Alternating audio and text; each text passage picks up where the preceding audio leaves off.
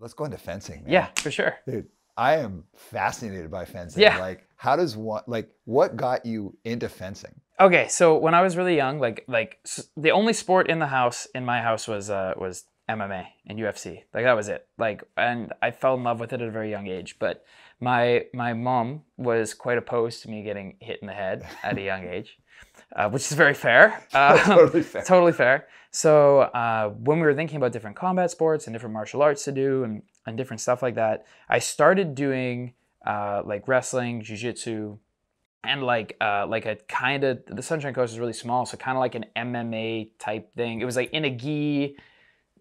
I don't know. It was it was about twenty something years ago now. So it was like in a gi with MMA gloves, and there was sparring and and hitting some pads and stuff. But then you're also kind of grappling. So it was like that kind of thing.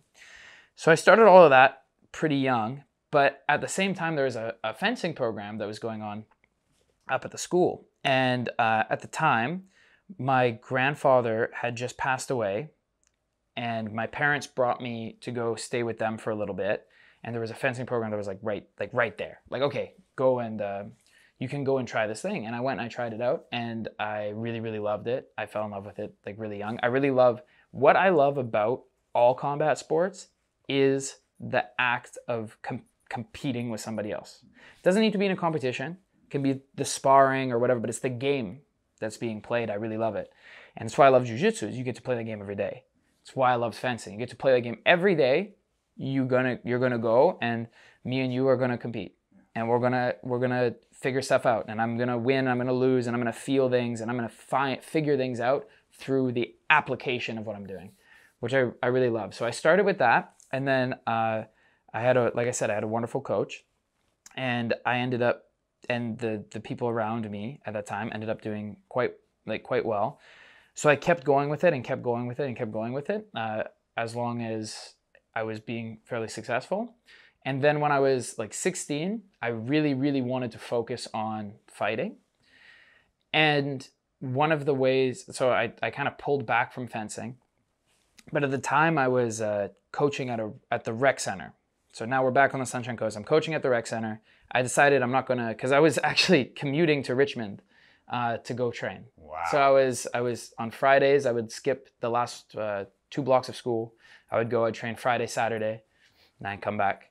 Um, so I couldn't do that anymore. I wanted to focus on my wrestling and, and and this. So I came back, but I was still running this program at the rec center, and I had a couple kids. How I used to like end class is I would tell stories about competing. I'd be like, "Oh, I remember one time I was here and the hotel caught fire and da da da da," and all this stuff. And I had a, a team of kids, about six of them. They were like, "Hey, we want to compete. Like, we love what you're saying. We want to compete." And I was like, "Oh yeah, you guys should probably go get a coach." You know, I'm like a 16 year old kid yeah, you should probably go get a coach. Like, yeah, we got one. We got you. And I'm like, I'm not a coach. Like, I have no, like, I can like kind of teach, but I, I had no idea that I even knew anything about. I was like, I don't know anything about this. Like, I grew up around people who had coached national teams for like Ukraine and Israel and all these other countries, and like, I, I had never. I, I was like, I don't know what I'm doing.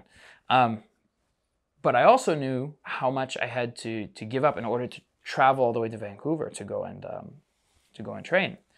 So I was like, okay, we'll start a, a, a, program here for you guys. So it was just six kids when I started my own little uh, gym, and that was my first experience really, really coaching. That's where I went from like like you're saying an instructor to like a coach. There's a team of kids. I remember one of the first conversations I asked them. I said, hey, um, do you want to be good?